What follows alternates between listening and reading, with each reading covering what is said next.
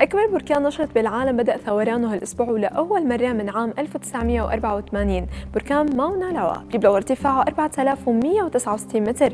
وعم تتدفق الحمم البركانية الرئيسية داخل القمة بسرعة 40 متر بالساعة. هذا الشيء اللي شكل مشهد للسكان كأعجوبة طبيعية بهاواي. من نشوف كيف عم يكون الطقس. عم يكون في امتداد. منخفض جوي ضعيف. حيأثر على المنطقة اعتبار مساء الاثنين حتى مساء الأربعاء.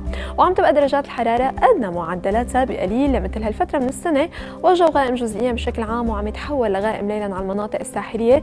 لتصير الفرصة مهيئة لهطل أمطار خفيفة بتلك المناطق. وليلا عم يكون جو بارد وعم يحذر من تشكل الضباب خلال ساعات الليل والصباح الباكر بأغلب المناطق. رياح متقلبة لجنوبية غربية بين الخفيفة والمعتدلة. عم توصل سرعتها 20 كم بالساعة أما الرطوبة عم تروح بين 40 و 90% والبحر.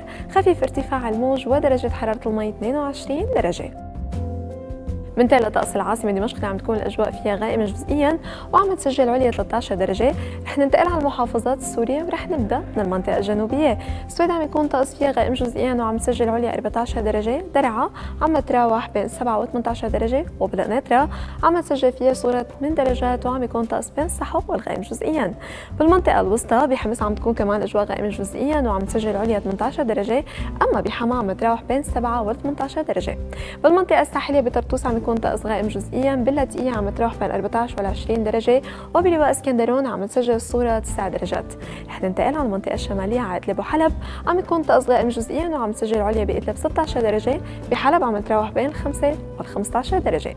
أخيرا جولتنا حتكون على المنطقة الشرقية على الرقة اللي عم يكون فيها الطقس ضبابي وعم تسجل عليا 14 درجة. أما بالحسكة عم تروح بين 5 و 16 درجة وأخيرا بدار الزهر عم تسجل حرارة الصغرى 8 درجات. أخبار الطقس اليوم خلصت تلاقوني بكرة وبخير